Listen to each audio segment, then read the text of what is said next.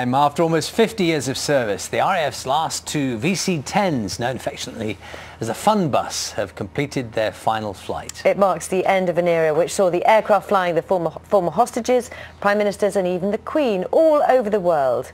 Adina Campbell was on board as it took to the skies for the last time. They were first used by the military in the 1960s and have been based at RAF Brize Norton since 1984.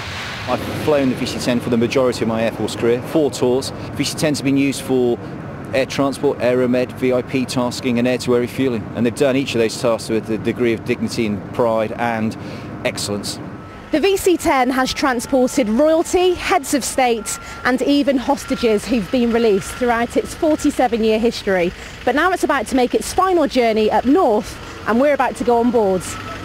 They may be old, but they're fast. Back in the day, this plane flew from the UK to Perth in Australia in just under 16 hours.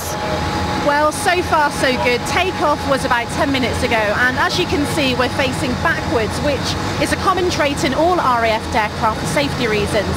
There are only 17 of us on board, including the crew, and we've been told we're heading towards the North Sea near Newcastle to refuel some typhoons and tornadoes. Most of the fuselage is taken up by these tanks. This is one of the things the VC-10 does best, refuelling other aircraft. These tornadoes have flown from RAF Lossiemouth in northern Scotland.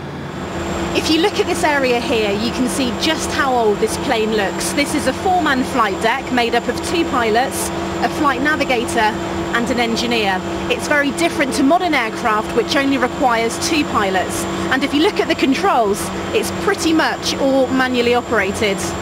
Unfortunately, because uh, it's getting an old aircraft, it takes a lot of work and the, the guys have to work very hard to keep her serviceable nowadays. The VC-10's been a part of my life since 2002 when I first started to fly her. Um, so obviously it's been 11 years of some good memories, some not quite so good memories, shall we say, but overall it's been absolutely fantastic and I feel very privileged to have been given the opportunity to fly the aircraft. This may be the last sortie, but there will be one final journey to museums in Leicestershire and Surrey. Oh man, I'm sad. I'm really sad. Adina Campbell, BBC News.